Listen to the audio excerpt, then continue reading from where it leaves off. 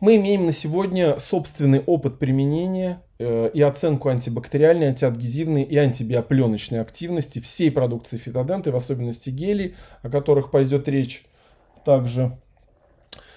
Э, исследование было проведено на базе НИИ Пастера в Санкт-Петербурге в 2021 году, и вот закончилось э, первые фрагменты в 2022. Гель показал высокую эффективность по всем абсолютно показателям, и антибактериальным, антиадгезивным, антибиопленочным.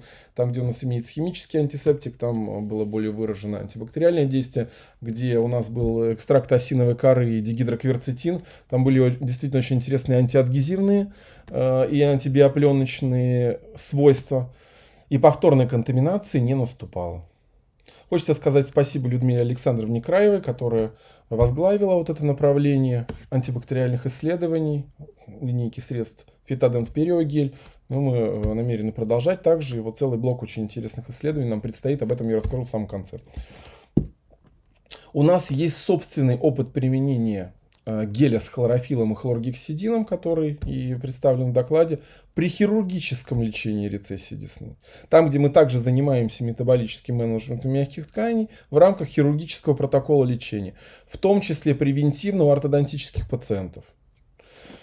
Вышло две публикации на эту тему в журнале «Пародонтология». Также благодарю коллектив э, авторов и наших профессоров, кто, все, кто способствовал появлению этих публикаций. Это две фундаментальные статьи, где э, в одном случае мы анализируем совместное использование аллогена твердой мозговой оболочки и аутотрансплантатов, получая абсолютно сопоставимый эффект у одного пациента, где 28 рецессий в полости рта. Э, очень разной глубины, разных клинических параметров, но действительно со всех сторон достаточно сложный случай. И вторая статья посвящена превентивному хирургическому лечению или превентивным манипуляциям по созданию объема прикрепленной десны у ортодонтических пациентов в области тех зубов, которые будут двигаться по протоколу вестибулярно по дуге.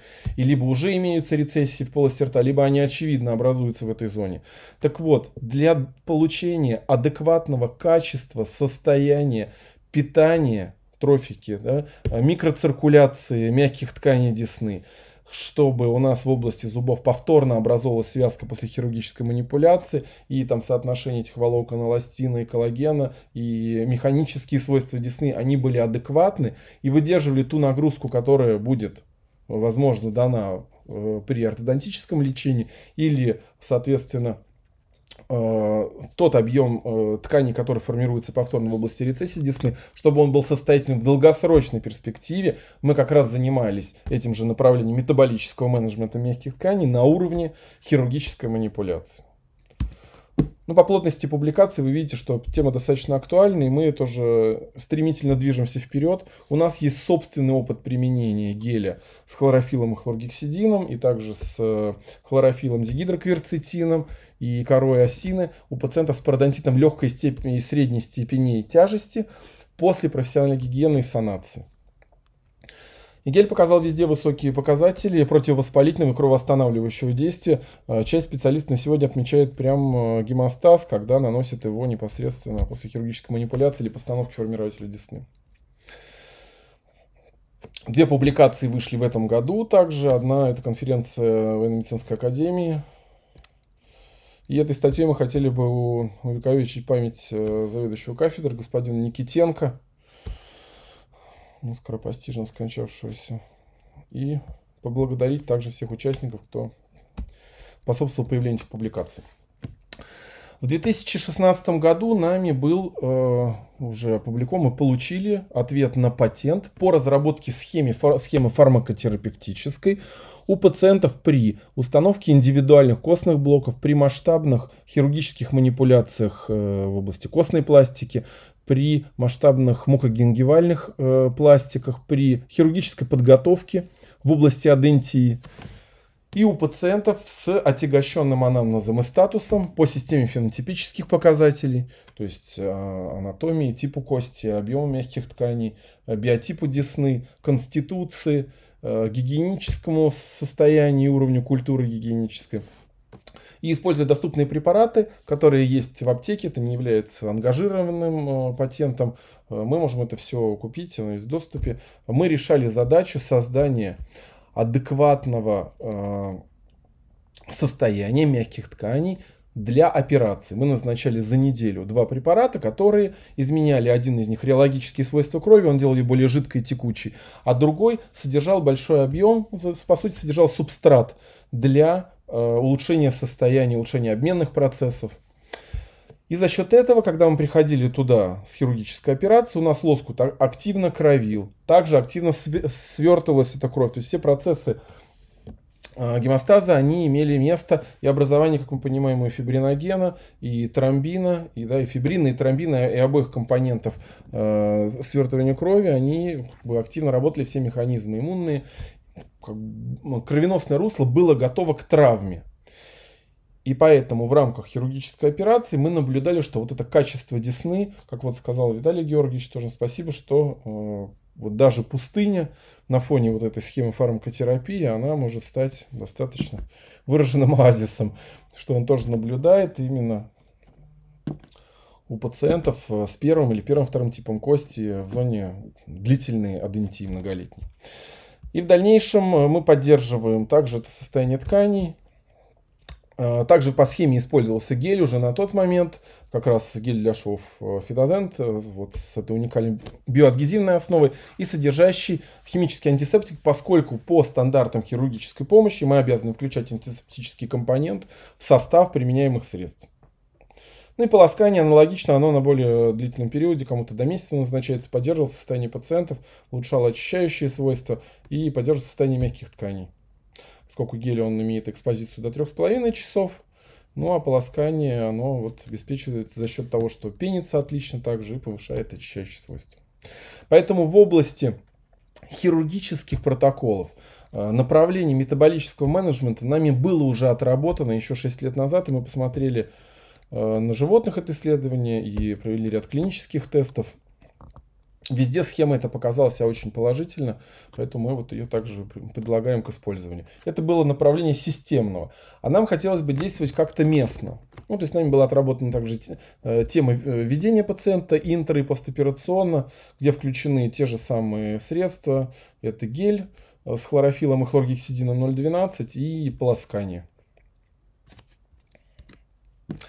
А, нами была разработана система фенотипических показателей – Э, мы работаем с ней еще с 2013 года. Впервые она была опубликована в 2017 году в одной из статей э, по хирургическому лечению рецессии десны, где мы объединили между собой несколько устоявшихся классификаций, подтвержденных, в общем-то, всеми там ассоциациями и известными структурами, которые да, имеют вес э, в нашей области.